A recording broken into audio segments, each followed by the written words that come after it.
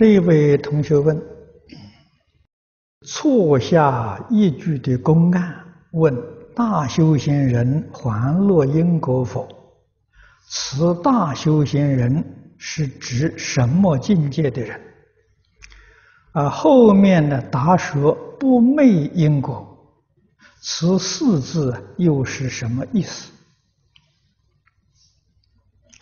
那么这个地方的大修行人，这个是古老的公案啊，是百丈大师的公案，在语录里头有有记载。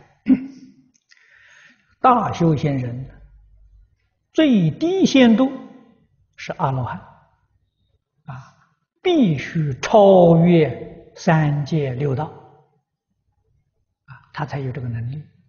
六道里面呢，那不算了。纵然到飞翔飞飞翔天，还是六道凡夫。阿罗汉菩萨超越六道啊，那么再往上提升呢？那大修行人是超越十法界啊，那是真正叫大修行人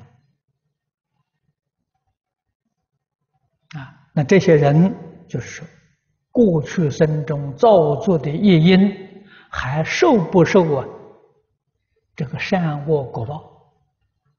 问的意思是在这个地方啊，所以这个大修行人有两个讲法啊，这个这两个讲法了，真正的讲法的时候呢，是发生大事，破一品无名，正一分发生。如果把这个水平降低呢，也是断见思烦恼，证阿罗汉果啊，这也算的是大修行人啊，小乘的大修行人。不昧因果跟不落因果是两个意思，不落因果是没有因果，那过去造的恶不受恶报了啊，这叫不落因果。不昧因果呢，还是受报？受报清楚，这叫不昧。昧是明了啊，不昧是明了，昧是不明了啊。不昧呀，就是明了啊。我受的果报，知道这个果报是过去什么样的业因感得的果报，清清楚楚、明明白白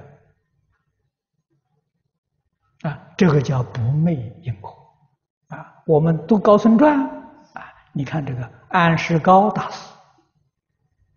啊，他在过去两次到中国广州啊还命债呀，那就是不昧因果。啊，前世误杀了众生。啊，这也是故意找到前世的呃被他杀的这个人。跟他在一起也被他误伤，啊，这个因果就结了，这账就结掉了。他为我们实现了，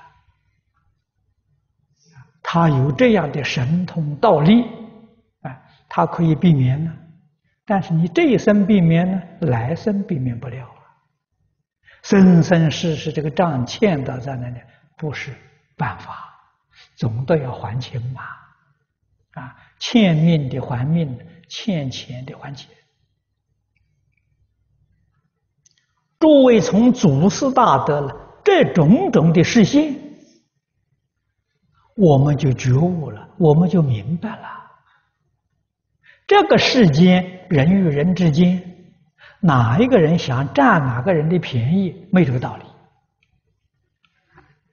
为什么呢？你这一生占便宜，来生要还人家的呀。